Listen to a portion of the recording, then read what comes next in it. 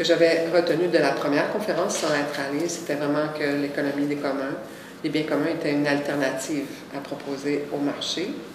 Puis je pense qu'on est dans l'exploration, tout ça. Il y a plein de, mini-expériences qui font référence à ça, sans nécessairement rejeter le marché.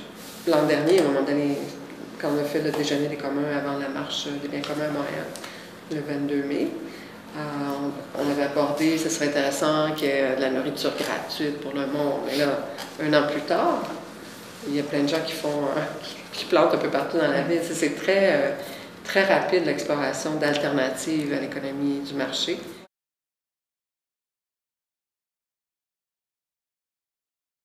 L'économie, on, c'est ça, c'est un tabou euh, quand tu nous mets tantôt.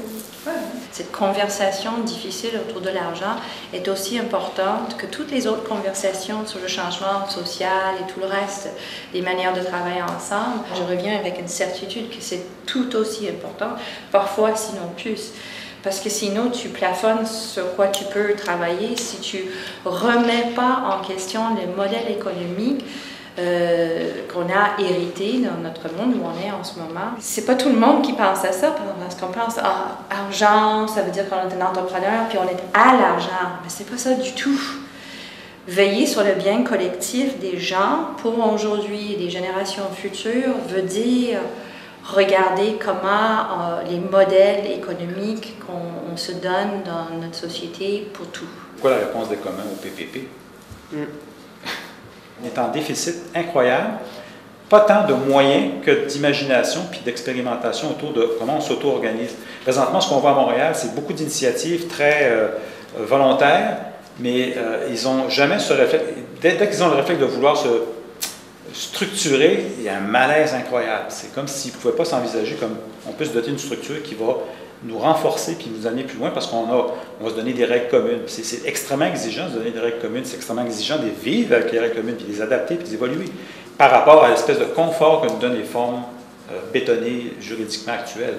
Il y, a, une dimension extrêmement entrepreneuriale au sens euh, générique, au sens entrepreneur réussi, mais d'entrepreneuriat collectif complètement fou dans les communs, qui, qui est à explorer. Je ne sais pas comment, mais qui, qui, vient d'une certaine prise de risque de non pas euh, euh, ben, c'est s'investir dans un projet, mais qui ne revient pas entièrement à nous. On est quand même dans l'économie collaborative. On est quand même dans l'économie du, faire, soi-même, euh, d'échanger les choses. Et c'est là-dessus qu'on peut bâtir.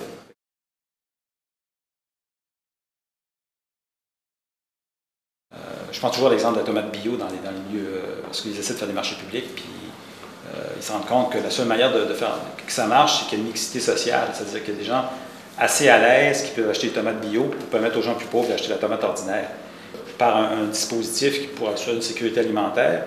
Euh, c'est une manière de, noyauter le fait qu'il y a un, écart de revenus puis il n'y a pas de même accessibilité parce que les marchands ne seront pas intéressés à venir à une place où les gens ne peuvent pas acheter des produits de luxe.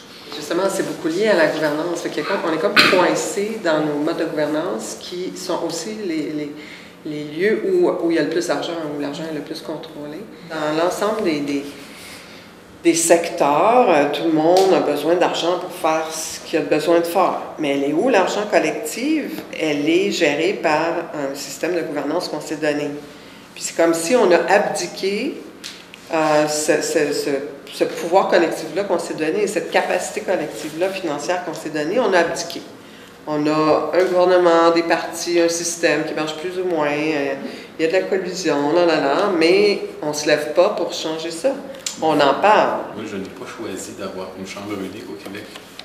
Ça s'est pris il y a longtemps, cette décision-là, puis j'aimerais bien avoir l'occasion de, le faire aussi, puis que nos systèmes politiques euh, auraient peut-être avantage à partir de maintenant, désormais, d'avoir une, une date de péremption. Moi, je ne veux pas prendre ce que je fais dans mon travail puis de donner ça à l'État parce que je juge que c'est trop risqué.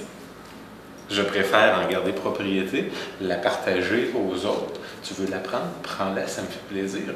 Par contre, je ne veux pas en faire un bien d'État parce que je ne le truste pas, cet État-là.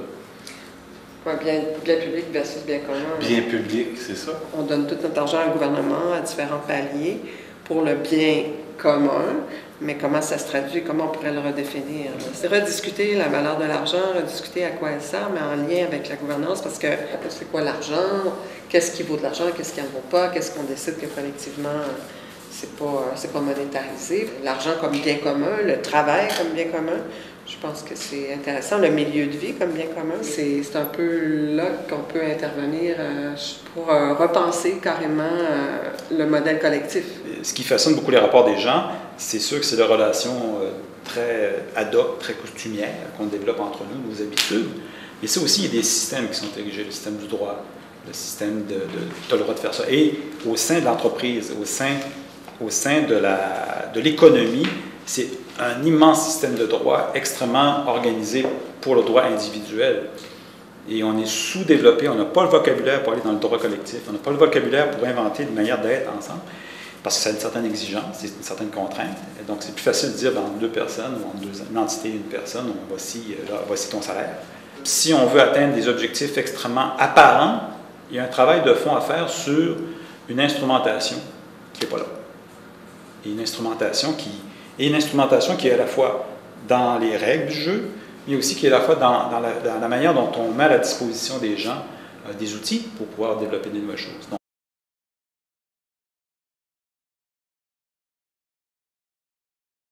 C'est comme la partie en arrière, l'infrastructure qu'on met en place pour permettre aux gens de pouvoir bâtir des choses par-dessus. Et présentement, quand on parle de travaux d'infrastructure, on parle d'asphalte, d'asphalte, du béton et de l'asphalte, des trottoirs, puis, puis puis c'est comme si euh, ne voyait pas que la notion d'infrastructure est extrêmement puissante. C'est-à-dire que si on dit qu'on a de l'eau au robinet qui est gratuite, il y a toute une infrastructure qui tient ça. L'infrastructure, c'est un, un moyen ça, sert à supporter, euh, pour moi, ça sert à supporter l'opération d'un processus. Le processus, eh qu'est-ce que je veux faire de ce processus-là? Est-ce que je veux euh, donner de l'énergie à tout le monde ou est-ce que je veux permettre à tout le monde d'échanger de l'énergie? Si on fait des choix de finalités différentes, bien, nécessairement, on va avoir des choix d'infrastructures différentes. La question du pourquoi elle prime sur la question du quoi. Puis la question de la gouvernance, ensuite de ça, je pense qu'elle vient après. L'attribution de la richesse est imparfaite. Et tu arrives avec un, une volonté de partager quelque chose de commun et tu te retrouves obligé de vivre dans un monde où l'accès à ce savoir est, est imparfaitement, imparfaitement accessible. Les moyens ne sont pas là. je trouve que ça, c'est ce sont les obstacles auxquels on a affaire tout de suite. Il pourrait y avoir un droit des communs qui pourrait naître et qui pourrait se développer. Travaillons à, faire en sorte qu'il y ait d'autres infrastructures qui, naissent. On peut aller encore plus loin en disant, bien, si on donne aux citoyens des capacités de pouvoir produire ou faire un certain nombre de choses, puis que l'État supporte ces, infrastructures au même titre qu'elle dépense des milliards de dollars pour supporter la voiture, l'économie de la voiture.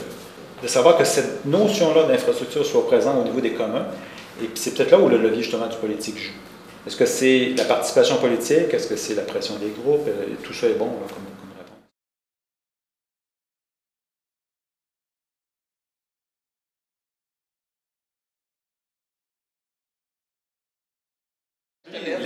biens communs, c'est de l'interstice, c'est de la gouvernance des biens communs. Puis concentrons-nous à comment on gouverne nos biens communs, comment on veut gouverner Wikipédia, comment on veut gouverner euh, MediaWiki. Il y a des façons différentes de faire. Puis je pense que plus on va se focuser sur trouver des façons pertinentes de, de gérer nos infrastructures, euh, ben moi, on va en remettre dans les mains de l'État. Nous, comme personnes, des modèles passés qu'on peut réactualiser, je pense entre autres à la fabrique, des églises. Euh, l'idée du projet Saint-Marc qu'on a eu, puis ce qui me dans la tête, c'est qu'on doit inventer une nouvelle fabrique pour récupérer ces édifices, ces espaces-là. Une fabrique, c'était porté par les paroissiens. Puis pas, ça s'était basé sur quoi? on va dire une structure de pouvoir, des obligations, mais c'est des obligations pour sauver leur vie après la, après la mort. C'est l'éternité, après c'est long, l'éternité. Je n'ai jamais été là, mais ça semble très long. Mais euh, donc, il, disait, dans le fond, pour un, truc symbolique, social, de, symbole, donc on se donnait, c'était, on prenait soin d'église. On investissait des sous. C'est quoi la nouvelle fabrique qui vont prendre soin de nos, euh, de nos, de nos euh, églises, églises au sens de nos structures, de nos communs? Mais si on, on, prend en compte que le système économique actuel qui dépasse la capacité des écosystèmes, puis qu'on s'en va vraiment dans le mur, mais il y a un contexte c'est vraiment un contexte euh, d'urgence d'agir. je pense que si on vient aux, besoins fondamentaux humains, comme on discutait, puis que les communs s'inscrivent dans cette euh, mouvance-là, ben ça, il y a, une opportunité euh, de, changement de paradigme qui est là. Si on, est, on, veut je sais pas, faire euh, avancer la, la, conversation sur les commons au Québec. Ça pourrait être intéressant de la, de la matcher avec euh, quelque chose qui est dans une crise, que le, système actuel n'est pas capable de continuer à faire vivre cette affaire-là. Donc, si on va continuer à avoir collectivement accès à ça, ben, il faudrait qu'on s'organise autrement. Avoir des histoires qui se racontent pour ouvrir la créativité du possible, là où il y a un, défaut du système de fournir quelque chose.